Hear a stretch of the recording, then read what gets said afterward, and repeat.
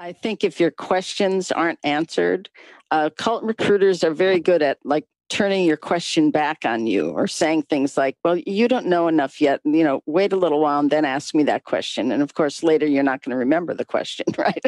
um, if there's not transparency uh, about finances and things like that, um, if there's if there's no ability to question or challenge the leadership, um, I, I think those are some of the main things. And then I think uh, what you were mentioning about like having public confessions or public witnessing, because the, the force of that is that when you say something in front of other people, then you're far more likely to follow through with it, right? So getting you to stand up and and do that kind of recitation is is part of uh, sort of squeezing you further into the group.